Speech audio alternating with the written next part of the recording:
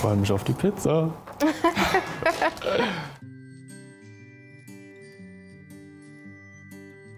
Oh, es weihnachtet endlich wieder bei The Body Shop. Der Wahnsinn. Vor allem sind auch dieses Jahr die Geschenksets irgendwie wieder ein Stückchen besser geworden, habe ich das Gefühl. Also da haben wir die verschiedensten kreativ eingepackten Geschenke für eure Freunde, aber auch größere Versionen für eure Schwester, meine Freundin, meine Mama.